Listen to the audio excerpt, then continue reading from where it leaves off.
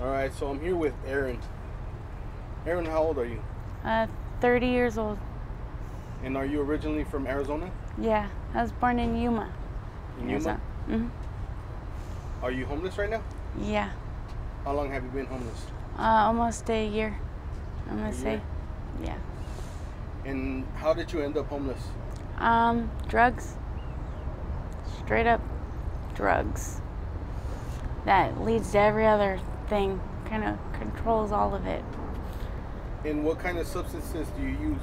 Uh, I'm sober. It's been two months, but it was a fentanyl and heroin at first, then the fentanyl and meth and weed. Unfortunately, but yeah, So you were on the blues.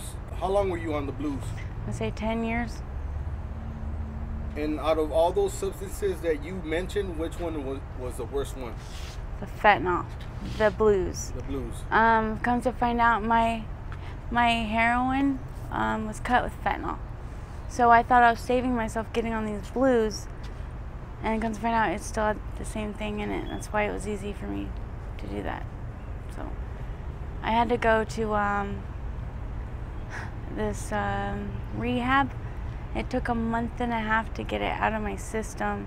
I was having withdrawal seizures, like nonstop. I having to go to the hospital to be checked because it, my body didn't know what to do. I've done it for so long. It was, it's the devil. Like really, I feel like it took over my body. I, I'm unlucky that I am where I'm at up here. I'll tell you that because that's the only thing saving me right now. It's hard being out here, not on anything though. It's so depressing. So, sorry, school. Honestly, like um, I was a good kid and try to be cool. Someone brought it was really heroin is what started. Um, the pills I thought you were supposed to swallow those. That's what I thought pills were for for a while, until I realized people were smoking them.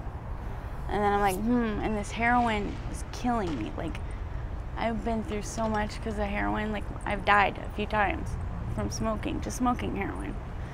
And I thought it was a good idea to switch, you know. And Yeah. then it was just as worse, actually. So, yeah. So how many times have you overdosed before? Um, on the fentanyl and hair, like the heroin and blues, I'm gonna say like four or five times. My heart stops. My body don't like it at all, and it's scary because those pills. That was when I had the heroin. I would shoot. My heart would. My body just because that was because of fentanyl in it. I didn't know this at the time. When I went to the blues, it was uh, overdosing. Same thing though. Like it's, I literally feel like it's the devil. Like, and I'm not. I am religious. I'm not gonna lie to you, but it's, it's evil. Like it takes over you. Like it makes you. It's the worst thing, to tell you the truth. And how did you manage to survive the OD? Um, the ambulance, and them giving a crap about me, not looking at me like a little druggie, taking the time and helping me. Honestly, I'm lucky they're like that. Not all are either, though. Same as like police. I love police, but some aren't doing their job. They have like a pride issue, you know? So it kind of contradicts the whole thing, but we kind of should get treated a certain way doing something like that. So it's kind of it's hard to argue that one. I'm lucky. I know what I know.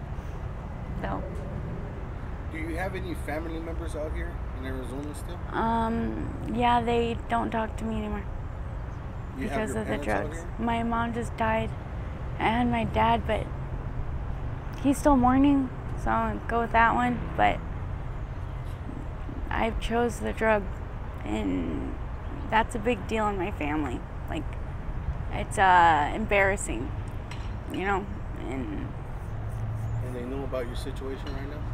Yeah, they're kind of watching what I do. So at least I have my brother kind of checking on me on the Facebook. But my dad won't talk to me. No one. and it's hard. but it makes me want to do it more. I'm a lucky I get opposite effects on stuff. I did that in basketball too. when someone doubted me, I do I do better. so I'm gonna just you gotta want it to get off of it and it's sad and it just grabs you. I literally thought my whole life changed because of this. I didn't, I'm not even me. Like when I got sober off this uh, fentanyl, it took a month and a half. I was having thoughts that I didn't even know. Like I didn't know I was different until I got sober and I was even thinking different. I was like that lost. Like that's why I say the devil because it takes over you.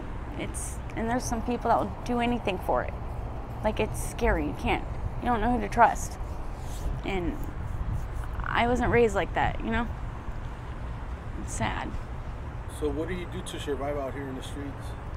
Um, I walk because I'm scared to sit down because I'll get in trouble or I just literally learned to walk and sleep. That was some weird one. but yeah, I literally nonstop walk. Um, I've been looking for jobs. I have a job interview at Denny's, so that's cool, but it's hard to keep up with how I look and stuff. I have to like act like I'm have a home and stuff. So I can do it though. Mm, I believe I can. You have to. It's hard. I'm lucky. So if I am having issues, I feel bad. Hi, you ready to order? So how dangerous is it being out here, Sorry? being homeless out here as a woman? Ay, ahorita no Oh, oh my God. I have a taser. I had to go get a taser. Sorry? There's a men that are boys. They act like little kids, harass you, won't leave you alone. Don't listen to anything you say. Like I get bothered daily. I even dress not like I am right now. I dress like Oh, a we're bags over. Like I don't try to look pretty. It's scary. Um, they will. They'll still keep bothering me. I had to get a taser. I had um, a friend of mine. I thought I didn't really know him, but I would talk to him sometimes, and he would let me inside. And I was cleaning, and he was gonna pay me. And I took a nap, and woke up to him touching me. And I woke up like and I got scared and just left. Like I, and I'm scared. I'm not gonna lie to you. When I see guys, I will go run to them just so I can walk by them.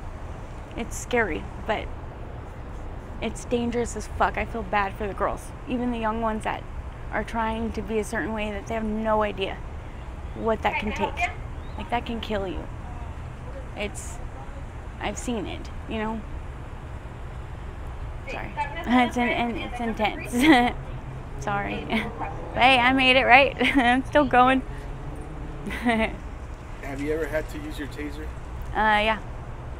Uh, a few times, actually. And and I I give people a chance and I keep trying. Okay, I've taken like 90 anger management classes. So I'm a little I have four brothers that kicked my butt. I played sports, so I can go, but I don't like to fight. You know, when I go through that, it taught me let them hit you, get it out, maybe they'll feel better. Then we can talk. Like I'm like that's where I'm at right now. It took a long time to get like that, so it's very hard, even if someone's coming at me to. But I get so scared. It, I've never been scared in my life, and it's sad. Over people have no idea what's going on. They just look at you. What's one of the most important things you've learned being out here homeless? Um, mind your own. Straight up. And do what's right. Even if you have nothing to do with it, help. You'd be surprised that there is good people out there. And when they see that, they want to help you. And some don't. But you know better and keep going and it will get to you. I believe in karma.